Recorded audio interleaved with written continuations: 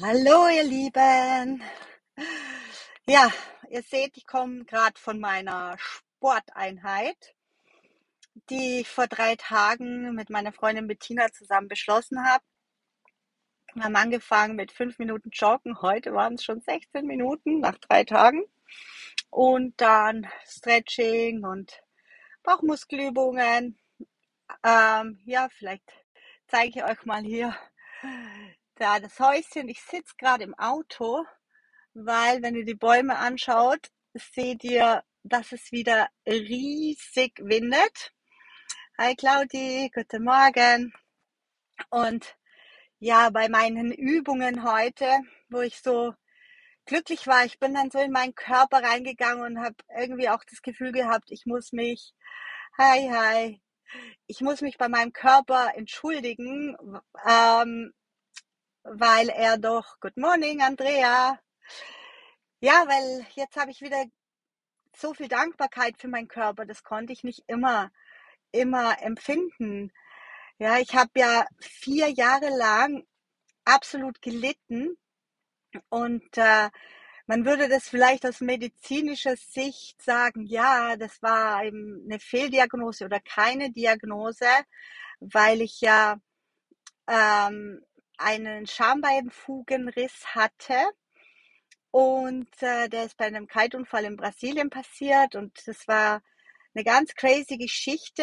Ich bin dann aus dem Wasser raus, die Wellen haben mich gewaschen gehabt, wie verrückt und ich habe wirklich um mein Leben gezappelt, weil ich nicht damit gerechnet habe, dass die Wellen so groß sind und dass, dass ich da drunter komme. Ich habe nicht geachtet. Ich hatte riesige Angst um meinen Sohn, mit dem ich zum ersten Mal, der war 17, äh 14, alleine nach Brasilien zum Kiten bin und ich habe immer mich so umgedreht und immer geguckt, wo er ist.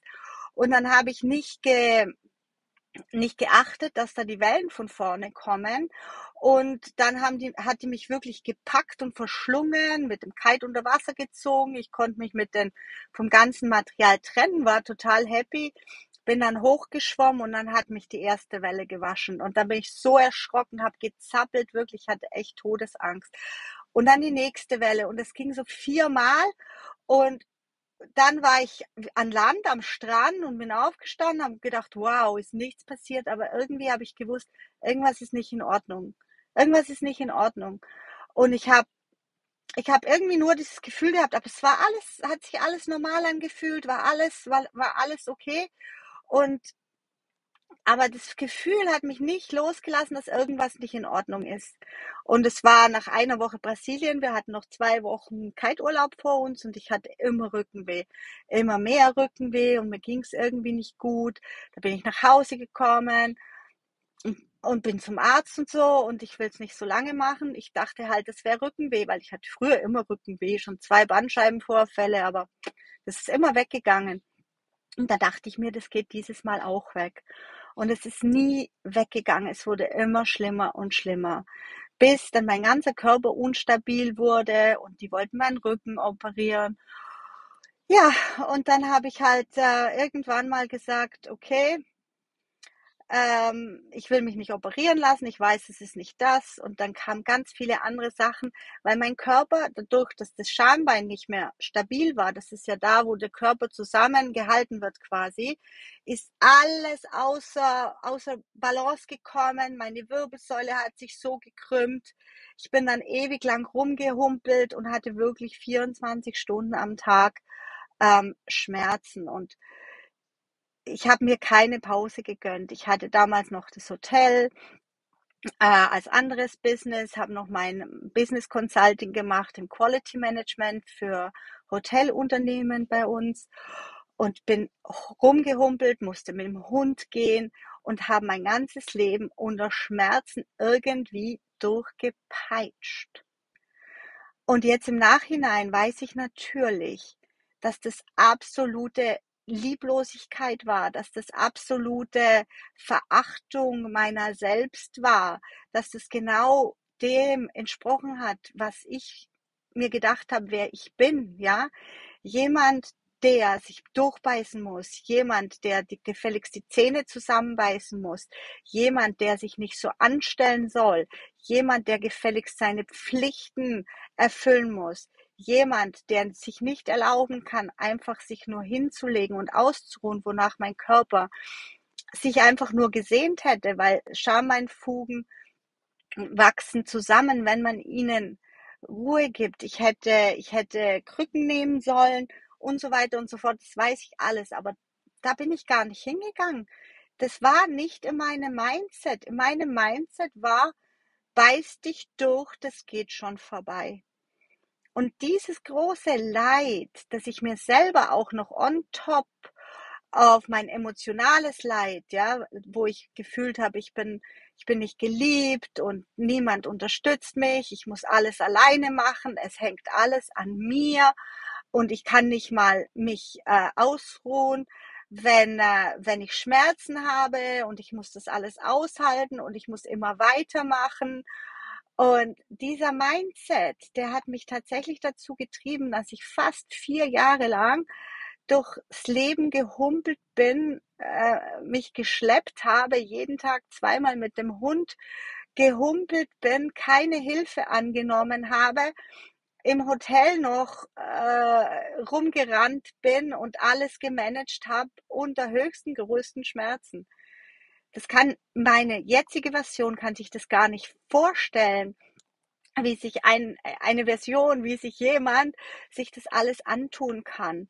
Aber diesen Höhepunkt musste ich offensichtlich von Leid erreichen, der, der mich auf diesen Weg getrieben hat, zu erkennen, wie alles funktioniert, zu erkennen, wie ich alles kreiere.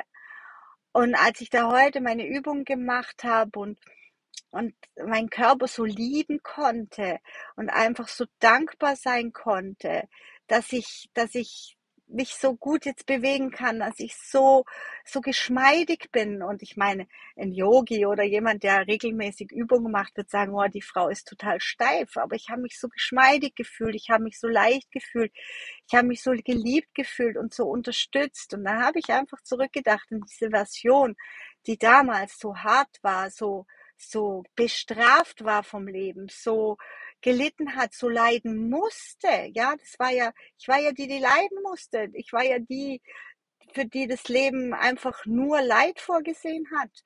Und ich konnte da nicht raushüpfen. Ich habe auch niemanden gefunden. Ich habe tausend Heiler besucht und habe Heil Dr. Joe Dispenza und gemacht und getan. Aber der Mindset war, du bist nicht gut genug. Du, du, du probierst alles, du arbeitest so hart, aber siehst du, du bist eine, die keine Ergebnisse bekommt. Und du machst alles, du reist dorthin, du gibst Geld aus, du investierst und schau mal, niemand kann dir helfen. Und diesen Mindset habe ich, habe ich weitergetragen und weitergetragen und weitergetragen und immer weiter gesucht natürlich, gedacht, das kann doch nicht sein, dass ich die bin die, die so leiden muss. Es kann doch nicht sein, dass es für mich keine Gnade gibt. Ja, ich habe um Gnade gebeten. Ich habe um Gnade gebettelt. Heute weiß ich, wen habe ich angebettelt. Ich habe mich selber angebettelt, dass ich mich endlich begnadige, dass ich mir die Gnade gebe, gut genug zu sein. Und das konnte ich mir erst geben, als ich gemerkt habe und als ich verstanden habe, dass wir alle Divine Design sind. Und ich habe das gelernt tatsächlich von den Christen. Aber ich habe gedacht, das kann nicht sein. Ich glaube nicht an einen Gott außerhalb von mir. Und dann habe ich das alles so genau untersucht, wie es funktioniert und wie es gemeint ist und habe die ganzen spirituellen Lehren zusammengetragen und habe diesen einen gemeinsamen Nenner gefunden. Und das ist, ich bin göttlich. Ja, und es reicht auch nicht zu sagen, ich bin Gott oder der Gott, sondern ich bin göttliches Design. Und das ist meine höchste Version, das ist mein wahres Design. Und es gibt zu, das gilt es zu lieben, bedingungslos mein göttliches Design. Und wenn ich aus diesem Human Design, aus diesen menschlichen, beschränkten Vorstellungen, eben wie ich muss leiden, man muss leiden und es ist halt so und keiner hilft mir, ich bin allein, wenn ich da rausspringe und in dieses Divine Design mir erlaube, bedingungslos einzutreten, weil das bin ich doch gewesen, bevor ich hier human designed worden bin, bevor aus meiner göttlichen Babyfrucht ein Mensch gemacht worden ist, der in die, in die Gesellschaft passen muss, der in meine Familie passen muss, der passend gemacht werden muss fürs äh, Bildungssystem und so weiter und so fort. Da war ich doch Divine Design. Und als mir das so klar wurde, als mir das wirklich, konnte ich mir alles erlauben. Ich konnte mir erlauben, diesen ganzen alten Geschichten, die alten Definitionen über mich, meine Identität, über meine Persönlichkeit, konnte ich komplett loslassen. Und mit diesem Loslassen ist plötzlich eine riesengroße Selbstliebe aufgepoppt in mir, die ja schon immer da war, die ich aber nicht erlaubt habe, weil ich in diesem Human Design Denken funktioniert habe. Und das ist jetzt das, was ich euch mitgeben will, dass es äh, einfach nur diese Logik braucht für unseren Verstand, dass der Verstand einfach wissen muss, Mann, du hast hier in einer falschen Welt gelebt, die dir nicht entspricht, die, die deiner Wahrhaftigkeit nicht entspricht. Und wenn du diese falsche Welt verlässt und in dein Divine Design eintrittst, in diesem Moment wird alles leicht, wird alles liebevoll, ja? Und das ist diese bedingungslose Liebe. Und das ist eigentlich das, was uns alle sozusagen von dem Leid befreit, ja? Und diese Vorstellung, dass es eben um ein Divine Design geht, das, das in uns lebt und das einfach divine ist, das einfach perfekt ist, das einfach bedingungslos geliebt wird, dass da nicht keine Bedingung dran ist, warum, weshalb ich geliebt werde, sondern ich bin hier gekommen in einer bedingungslosen Liebe und das bedeutet, ich werde bedingungslos geliebt. Und wenn ich das in mir generieren kann und dieses Wissen habe, so dass dieses Körpergefühl sich generiert, dass diese Weltansicht sich generiert und sagt, what the fuck, ich bin einfach nur belogen und betrogen worden, alles Schlimme ist mir vorgegaukelt worden, alle Ängste sind geschürt worden, alle äh, Zusammenhänge, dass Gefahr lauert, sind mir gegeben worden. Aber im Prinzip brauche ich diese Zusammenhänge und diese Ängste überhaupt nicht schüren, sondern kann einfach in diese Realität zu gehen, die gedacht ist für uns, in der alles in höchster, bester, liebevollster Ordnung ist. Und wenn ich da eintrete, dann bin ich in diesem sogenannten Feld, aber nicht in irgendeinem Feld, weil es gibt ja hunderttausend Felder. Das heißt, es gibt hunderttausend Räume mit Energien drin.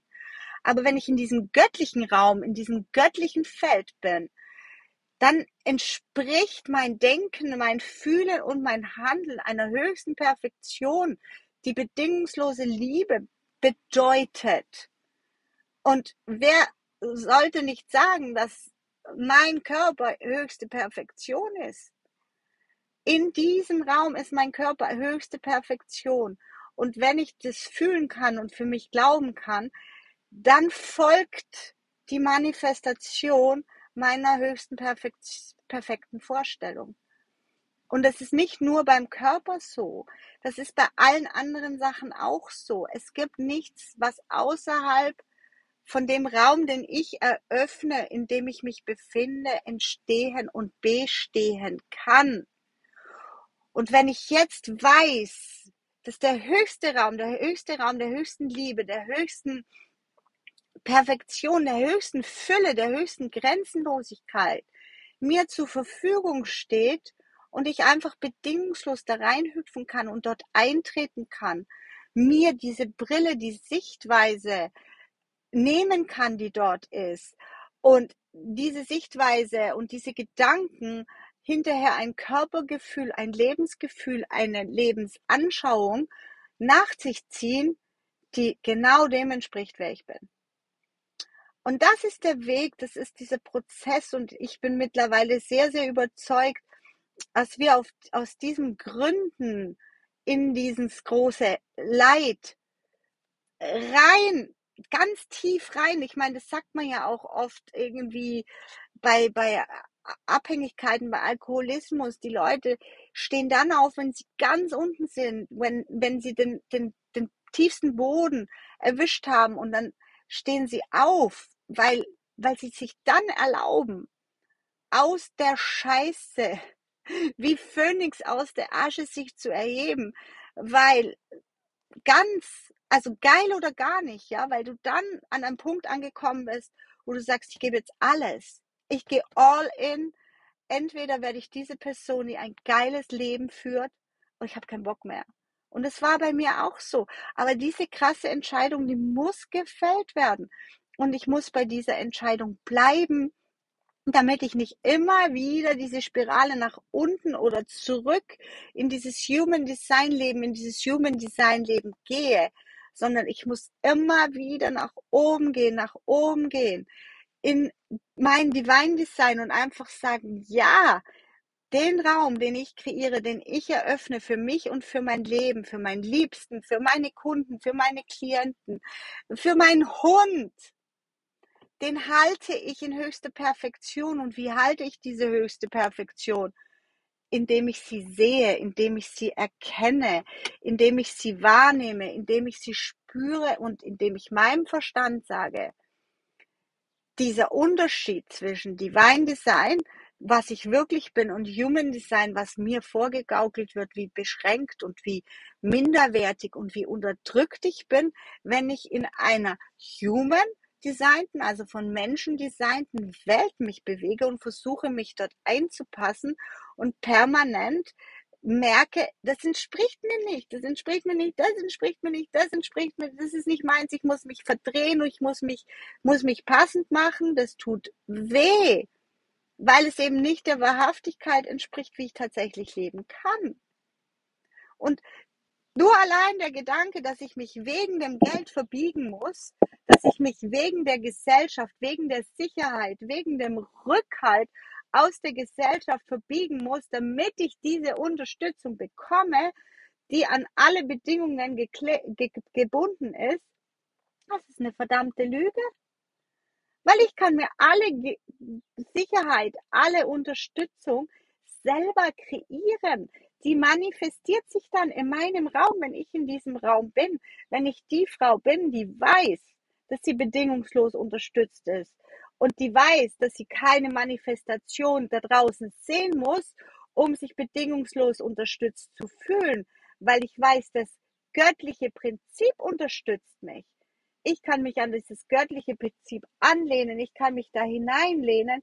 Und ich kann einfach diese unterstützte, geschützte, sichere, versorgte Frau sein, weil ich bin versorgt von einer energetischen Vorstellung, die ich generiere. Lass dir das mal auf der Zunge zergehen. Ich bin versorgt von einer energetischen Vorstellung, die ich kreiere.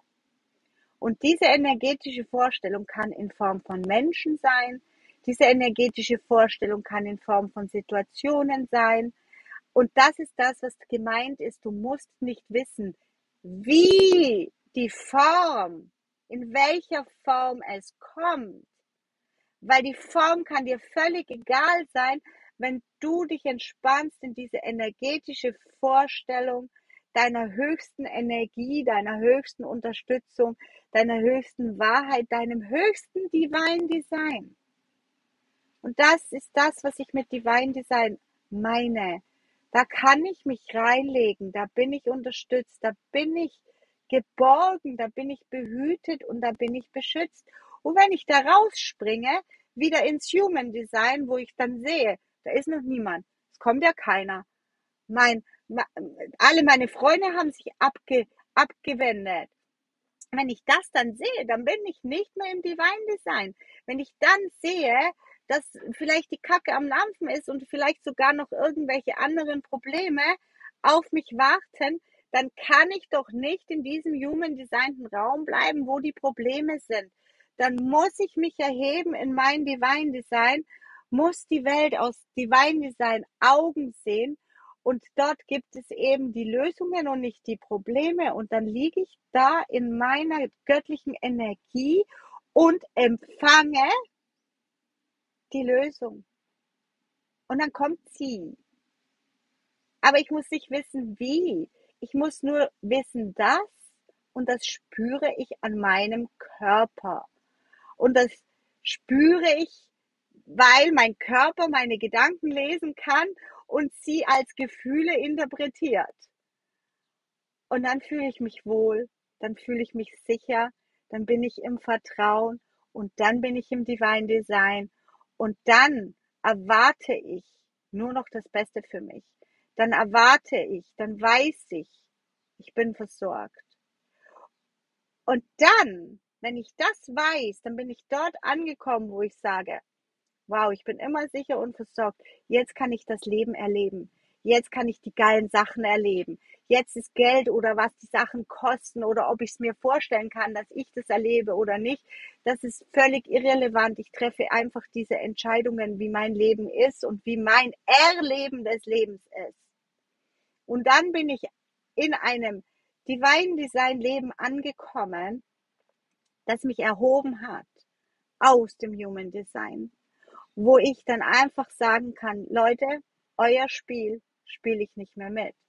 Leute, ihr könnt mir Filme des Desasters zeigen, ihr könnt mir Sachen erzählen, dass ich nicht geschützt bin, dass ich von Krankheit, dass, dass Krankheit irgendwo lauert, dass Armut lauert auf mich, dann sage ich, nein, sorry, I'm not here. Ich bin in meinem Divine Design, da laufen andere Regeln, da läuft meine Energie, da ist mein Raum, da ist mein Universum und da ist es so gestaltet, wie es mir wahrhaftig entspricht und nicht irgendwelchen Geschichten der Beschränkung, des Mangels und der Begrenzung, der Gefahr und des Flight and Fight. Das gibt's nicht im Divine Design, da gibt's kein Flight and Fight. Ja? Da gibt's nur Wahrhaftigkeit, da gibt's nur Sicherheit, da gibt's einfach diese Energie, die ich nicht sehen muss. Und das muss ich meinem Verstand beibringen. Ich muss es nicht sehen. Ich muss nur wissen, dass es da ist. Und das ist eins der schwierigsten Sachen, dem Verstand beizubringen. Aber wenn ich ihm die ganze, den ganzen Zusammenhang erkläre, wer ich bin, wie das entstanden ist, warum ich gedacht habe, dass ich nicht gut genug bin, warum ich gedacht habe, dass ich mich anstrengen und leiden muss, um in diesem Leben zu existieren, dann erkläre ich dem das. Und dann erlaubte mir, bedingungslos in mein Divine Design reinzugehen. Und das ist das, was ich mache. Das ist das, was ich in meinen Coachings tue. Und zwar so lange erkläre, bis dein Verstand Klick macht und sagt, das die absolute Wahrheit. Ich habe sie eigentlich schon immer in mir getragen, aber ich war so ein bisschen äh, noch abgelenkt durch die Scheiße da im Außen, die ich gesehen habe und die Dinge, die ich geglaubt habe, die Lügen, die ich für wahr gehalten habe.